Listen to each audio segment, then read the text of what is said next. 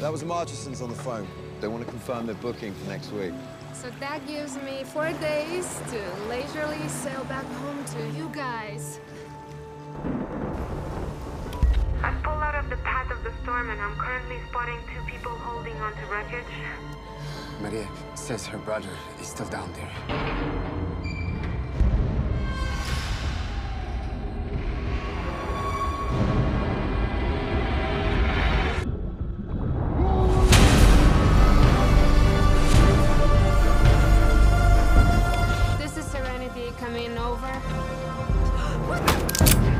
Our boat was carrying valuable product.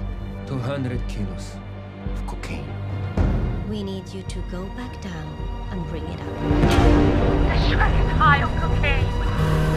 She called because she's in distress.